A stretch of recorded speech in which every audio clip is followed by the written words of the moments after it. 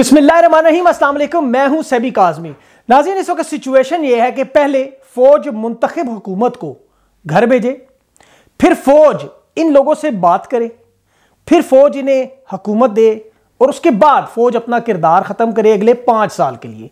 और उसके बाद फौज फिर हुकूमत इन्हें दे, और इदारों का फिर सियासत में कोई किरदार भी ना रहे। ये सारी खिचड़ी पकाई जा रही है, लेकिन मामला कुछ है, मैं आपको बताता हूँ। मैं मान लेता हूँ कि किसी एक के इशारे पर हुकूमत का तख्ता जो है वो उलट सकता है, लेकिन इसके बाद होगा क्या? ये वो सवाल है जो इशारे से हुकूमत गिराने की ताकत रखने वालों को इस वक्त सोचने पर मजबूर कर रहा है। फ़िलहाल सबसे पहले शेख रशीद को फारिग करने की बातें हो रही हैं और इसके बाद दो मजीद वजरा जाएँगे। और ये वो लोग हैं जिनके डायरेक्ट रबते जो है वो रावलपिंडी गेट नंबर चार से हैं। और मैं आपको एक बात बताऊँ कि इमरान खान के खिलाफ आप साजिश तो कर सकते हैं। लेकिन आप उससे लड़ नहीं सकते क्योंकि वो वॉरियर है, वो लड़ता रहेगा, मुसलसल लड़ता रहेगा, हार नहीं मानेगा, ज़िद्दी कह लें, बला की खुद एतमादी कह लें, और यही बात मुखालफन को खौफजदा करती है, परेशान करती है। मेरे ख्याल में इस वक्त जो लोग हैं, बड़े लोग, उन्हें चाहिए कि इस वक्त जो अफ़गानिस्तान से बदलती हुई सूरत हाल है सिक्योरिटी की सूरत हाल है, उधर ज़्यादा तोजह देनी चाहिए, बजाय ये कि जो इतिहादियों के ज़रिए जो गेम चलाई जा रही है, इसे चलाया जाए। क्यों कप्तान सरफिरा आदमी है कि ये ना हो, सारा सिस्टम इन्हें लपेट दे। और फिर लेने के देने ना पड़ जाएँ, क्योंकि हालात इस वक्त सही नहीं है। आलमी बहरान में इस वक्त एक वक्त में सारे तहादी खुल गए हैं बिल्कुल, और ये मामला जो है वो बड़ा ख़तरनाक हो जाएगा।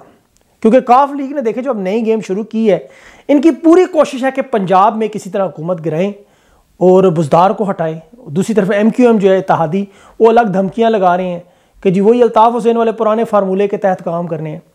मामला बड़ा सादा सा है, बड़ा सादा सा। कप्तान कहता है कि हमें हर सूरत में इलेक्शन जो है शफाफ करवाने इलेक्ट्रॉनिक जो वोटिंग मशीन है, वो लानी है ओवरसीज़ के वोट लाने हैं और सेनेट में अब छुप छुपा के वोटिंग वाला ड्रामा मुकम्मल बंद करना है। सामने आए, सब क्लियर हो जाए लेकिन होने नहीं दिया जा रहा। और कप्तान ने जिद पकड़ ली है। अब कुछ नाराज़ भी है जहर, लेकिन कप्तान कहते हैं, जो मर्ज़ी हो, हम कोशिश करेंगे एक पेज पर रह पर तब्दीली कर लें।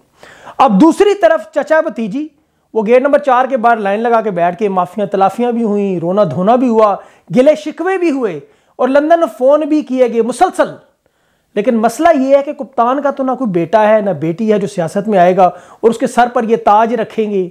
ना कप्तान ने कुछ चीनी की शुगर मिले छुड़वानी है अपनी, ना लंदन में कोई फ्लैट्स बनाने। सर, फिर बंदा है, पाकिस्तान के इसमें कुछ भी कर जाएगा, सियासत भी नहीं करेगा, ये सीधी बात करेगा, मुल्क के साथ नहीं दो नंबरी होने देगा। और अदालतें देखें क्या गेम कर रही हैं कि एक तरफ़ वो अफ़गानिस्तान के चीफ जस्टिस की हमने तस्वीर देखी रक्शे पर, और दूसरी तरफ़ जो है हमारी, आपको पता है कि जिस दिन इन, इन्हें भी मोटरसाइकिलों, रक्षों पर, टैक्सियों पर ले आए हम लोग तो आप यकीन करें सारा निज़ाम ठीक हो जाएगा। मेरा मानना ये है, सारे का सारा निज़ाम ठीक हो जाएगा। अभी मैंने कुछ बातें बड़ी जोमानी की हैं, कुछ को समझ आ गई, कुछ नहीं, तफसील मैं फिर इंशाल्लाह कभी बताऊँगा। अभी देखें एक सरेरा चलते हुए, मैं तो जेनी मरीज़ ही समझता हूँ। एक सेटिंग है, मैंने को गिरफ़्तार करवा दिया। जेनी मरीज़ पहले व्हाट्सएप पे सुमोटो एक्शन ले बैठे। फिर उस एक वो चरसी किस्म का वो बंदा, वो वीडियो बना, उसके घर पहुँच गए। उसकी बीवी की रिपोर्टिंग और कवरेज करती थी इनकी बीवी की। अब सिंध में आपको पता है कि एम का भी वो तशद के साथ जोखियों का मामला क्या हुआ है? किसी ने पूछा भी है। सत्तू पी कर सोए हुए, कानों पर जूं तक नहीं रेंगती। लेकिन मजाल है ये चले आगे। मुल्क में जो सूरत हाल है, उसमें मैंने देखे, मोटरसाइकिलों की सेल में इजाफे की बात की, मैंने ट्विटर पे ट्वीट की और जो है कुछ लिखा। तो आगे से लोगों ने शुरू कर दिया, जी इमरान खान की हुकूमत में गाड़ियाँ चूँकि बिक गई हैं। तो जो गाड़ियाँ बेच वाले थे वो बेच कर अब मोटरसाइकिलों पर आ गए इसीलिए मोटरसाइकिलों की सेल में इजाफा हुआ है और इस बात को बड़ा सीरियस लोगों ने ले लिया कि वाकई ऐसा हुआ है कि लोगों के काम इतने ख़त्म हो गए हैं। अब मैंने वो फिर दोबारा वो पोस्ट शेयर की थी कि एटलस होंडा की जो सेल है मोटरसाइकिलों की वो रिकॉर्ड सेल हुई। फिर इन लोगों ने वही पोस्टें उठाई और इसे लतीफ़ा समझ कर बना दिया। मज़ाक उड़ाने लगे कि जी हालात इतने ख़राब हो गए हैं कि या तो आप लंगर खानों पर चले गए हैं और, और गाड़ियों वाले मोटरसाइकिलों पर आ गए। तो मैं इनको गाड़ियों की सेल पिछले साल की नस्बत जो है वो पैंतालीस फ़ीसद इजाफा हुआ है वो दिखाना चाह रहा हूँ। मोटरसाइकिल तो उन्होंने खरीदे ना जिन्होंने चले गाड़ियाँ बेची हैं। तो अब गाड़ियाँ किसने खरीदी हैं जिन्होंने जहाज़ बेचे हैं? तो मतलब ये अकल की बात करें ये इंतहाई फजूल और क्या किस क्या कहे बंदा उनको? होंडा कंपनी की गा, गाड़ियों में देखिए उनकी सेल में बैतालीस फ़ीसद इजाफा हुआ है। टोयटा की तेईस फ़ीसद सुजुकी की बावन फ़ीसद होंडाई की जो सेल है, तेरह फ़ीसद बढ़ गई है। तो ये ओवरऑल जो सारा इजाफा ये बनता है पैंतालीस फ़ीसद। भाई, गुर्बत है अगर इतनी, हालात इतने ख़राब है तो गाड़ियाँ कौन खरीद रहे हैं? कौन आके ये अमीर अफराद की, देखें, पहुँच में चीज़ें होती थी। लेकिन मोटरसाइकिल की जो कुत खरीद एक आम आदमी, जिसे मिडिल क्लास कहते हैं, उसकी पहुँच में है। तो एटलस होंडा की अपनी इस, उन्होंने अक्टूबर के महीने में हिस्ट्री की रिकॉर्ड सेल की है।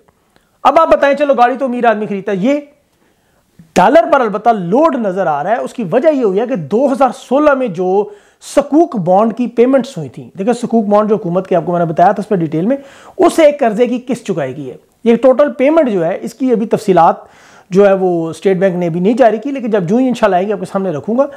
जब भी सऊदी अरब ने, आपको याद होगा, जो इमरान खान गए पैकेज का ऐलान किया, वो अभी पेमेंट जो है, वो चूँकि आपको पता है, उनकी शाही कोर्ट की तरफ़ से जब फाइनल अप्रूवल मिलती है, और उसके बाद वो फिर ट्रांसफ़र होती है और उसके अलावा दूसरी तरफ़ आईएमएफ की जो डील है वो फाइनल मराहल में। तो ये दो पेमेंट्स बड़ी इंपॉर्टेंट है। ये जब आएँगी तो आप देखेंगे बड़ी तब्दीली आपको नज़र आएगी। आईएमएफ की डील के बारे में अफवाह आ देती है, उसी दिन फिर स्टॉक मार्केट भी गिर जाती है, साथ ही डॉलर भी लड़खड़ा जाता है। और फिर अब मार्केट में कुछ ऐसे घटिया किस्म के लोग बैठे हुए हैं ना, ये जो अफवाहें फैलाते हैं, इनमें साफीन की बड़ी मदद करते हैं। मैं इसीलिए इन ताब के अक्सर बेशतर इनका ज़िक्र करता रहता हूँ। पता है डॉलर का रेट अगर एक सौ पचहत्तर हो तो इन लोगों ने अफवाहें फैलाकर एक करवा दे रहे हैं। एक सौ पचहत्तर था मार्केट में, अफवाह होगा कुछ नहीं, लेकिन स्टॉक मार्केट जो है लड़खड़ा जाती है।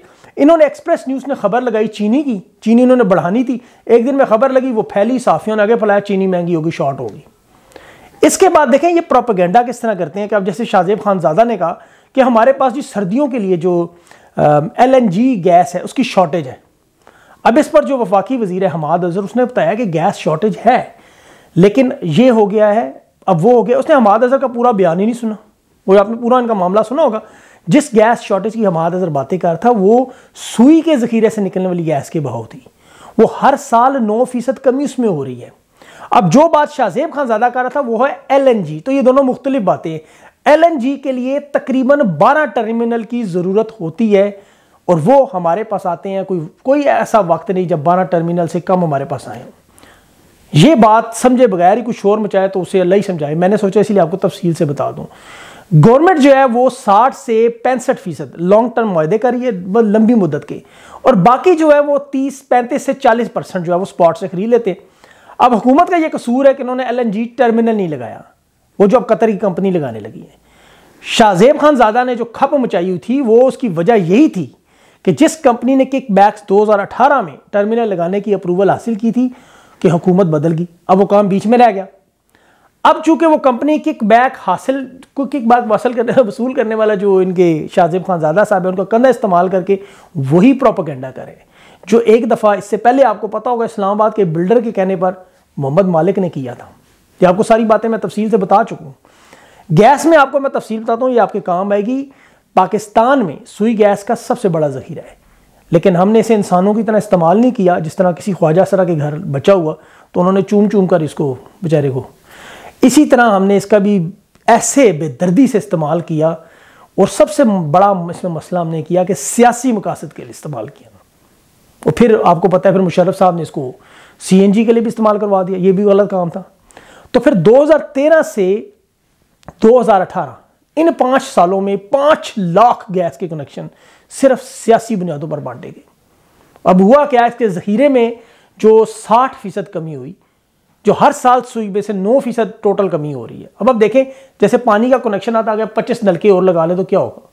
अब इसमें से तेज़ी जो 2013 के बाद आई, जब पाँच लाख कनेक्शन जब बंट इसमें रेवड़ियों की तरह उन्होंने बांट दी। 2011 में मतलब आज 11 साल पहले पीपल्स पार्टी ने चार साल तक गैस कनेक्शन जो आखिरी साल में बांटे। और उसके बाद नए कनेक्शन पर पाबंदी लगा दी। 2013 में नून ली ने हटा के उस पर अन्नी मचा दी, बिल्कुल। मतलब फ्लो में इतना ज़्यादा आप परेशानी पैदा कर रहे हैं, आबादी बढ़ चुकी है बहुत ज़्यादा। 2018 से 2021 हर साल हमारी आबादी बढ़ी है। गैस की लोड शेडिंग का मसला हर साल संगीन से संगीन होता जा रहा है और होएगा आगे से मजीद भी। लेकिन जब आप इस तरह पाँच साल इलेक्शन के आखिरी सालों में गैस के कनेक्शन बांटना शुरू कर दे, सिर्फ़ आपको वोट मिले, ताकि आप अपने नारे लगाने दें हमने गैस लेकर आए, हम यहाँ गैस लेकर आए तो अब पीटीआई की गवर्नमेंट ने गैस एक्सप्लोरेशन पर काम शुरू किया है। जिसके नतीजे में देखें, अगस्त 2020 तक सरकारी जो आदादोशुमार है ओजीडीसी में उनतीस नए जखीरे सिस्टम में शामिल हुए। उनतीस। और 2021 में एक बड़े जखीरे में जो सिस्टम में शामिल हुए, उनमें सयाल है, कोहलू है। ये आप चेक कर सकते हैं गूगल पे सारी बातें। अब ये जो ज़ख़ीरे दरियाफ्त हुए हैं, इनको सिस्टम में शामिल करने के बाद भी हमारी शॉर्टेज अभी तक 50 फ़ीसद है। अब देखें 2010 में सुई के मकाम से जितना फ्लो निकलता था, इन तीन सालों में वो सारे ज़ख़ीरे मिलाकर भी पूरा नहीं होता। इसीलिए क्या होता है, गैस को फिर आपको इंपोर्ट करना पड़ जाती है। और वो जो गैस आप लोकल गैस से आपको वो दस गुना महँगी गैस पड़ती है। अब देखें, अगर मैं आपको एलएनजी की बात बताऊँ, जिस पे शाहजेब ने पूरा प्रोग्राम किया, इसकी किल्लत को पूरी करने के लिए शायद खाकान ने 2015 में सबसे महँगा माहा एल का वो इसने किया था जो कि तेरह शरिया सैंतीस फ़ीसद बनता था। और महँगे तरीन स्लोप पर इसमें सिर्फ़ चार से छः एल टर्मिनल हुए थे। अब हुआ क्या कि हर साल चूँकि हमारी नौ फ़ीसद किल्लत है, जो मैं आपको भी बता चुका हूँ तो गैस के इस्तेमाल में जो इजाफा होता है, उसके बाद एलएनजी की डिमांड में इजाफा हो गया। और उससे क्या हुआ, हमारी डिमांड जो शुरू में चार से छह एलएनजी टर्मिनल थी, ये बढ़कर बारह एलएनजी टर्मिनल तक जा पहुँची। कभी कभी तो ये बल्कि चौदह तक, पंद्रह तक भी चले जाते अब ये चीज़ शायद खा खान अब्बासी साहब ने महँगी तरीन एल के जो माहे वो छः टर्मिनल में उन्होंने किए। हर साल तेरह शरिया सैंतीस फ़ीसद के हिसाब से। अब आप देखें कि जितनी भी एल हमें ज़रूरत पड़ती है, वो हम स्पॉट खरीदते थे। जो ज़रूरत पड़ी, हमने ले ली। जुलाई 2021 ठीक है जी? अभी ये जो अब हम नवंबर में है, इससे पहले एल की जो स्पॉट खरीदारी होती थी, वो भी शायद खान अब्बासी साहब के 2015 के किए हुए माहों से सस्ती मिलती रही। लेकिन फिर आलमी मार्केट में आपको पता है, जो बहरान शुरू हुआ सबको पता है। तो वो जो माहे थे, वो 2020 में से ख़त्म हो गया, दूसरा 2021 में ख़त्म हो गया। तो अब हमें जो एलएनजी के टर्मिनल छः टर्मिनल हैं, उस पर कमी का सामना करना पड़ रहा है। अब हुआ क्या कि हुकूमत ने उसी कंपनी से, जिससे अब्बासी साहब ने 2015 में तेरह अशारिया सैंतीस के हिसाब से एलएनजी खरीदी थी उससे 2020 के महँगे दौर में 10 फ़ीसद के हिसाब से छः टर्मिनल का नया मुआदा किया। अच्छा अब इसमें हुआ क्या कि जो देखें, जो चीज़ हमें 2015 में महँगी मिल रही थी, ज़रा देखें 2015 में महँगी थी, उतनी ही मकदार में 2020 में तकरीबन 20 फ़ीसद सस्ती का मुआदा हुआ है। अब दोनों मुआदे पढ़ के देखें, मेरा दिमाग घूम गया। ये सारी खरीदारी लॉन्ग टर्म मुआदे से पहले हम करते थे। तो लेकिन जब सुई गैस में, अब जो ही आपको कमी आपको पता है शुरू हुई तो फिर एलएनजी के जो मकदार थी वो बढ़ना शुरू हो गई। अब इसमें जो एलएनजी सबसे पहले स्पॉट मार्केट से ख़रीदते थे और लॉन्ग टर्म का जो माहा था, ये भी नून लीग से के माहों से बीस फ़ीसद सस्ता था। तो ये इतना बड़ा इन्होंने प्रोपोगेंडा जो मचाया हुआ है जी कि पी आई की हुकूमत ने दुनिया महँगी तीन एल खरीद ली है और लॉन्ग टर्म वादे सही थे। तो ये सारी बातें मैंने सोचा आपके सामने तफसील से रखूँ। इस पर काफ़ी रिसर्च है, रज़ा चौधरी की, लाहौर से बड़ा उन्होंने ठीक ठाक दोनों माहे निकाल के मुझे दिए हैं। तफसील से हमने एक चीज़ खबर ढूंढी है और उन्होंने बड़ा टाइम लगाया इस पर और सारी मेहनत करके हमने इसको जोड़ के आपके सामने रखा है ताकि पता चले हकीकत क्या है।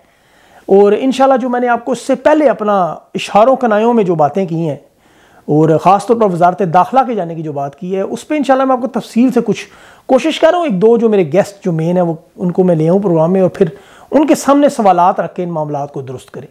तो अगली वीडियो तक आप इंतज़ार करें। चैनल को आप ज़रूर सब्सक्राइब कर लें। बेल भी दबा दें बेशक आपकी अगर दिल चाहे तो। और पेज को जो है वो फॉलो करें, शेयर ज़रूर करें ताकि लोगों तक बात पहुँचे। अपना ख़ास ख्याल रखें। मुझे इजाज़ें दें। अल्लाह हाफिज़।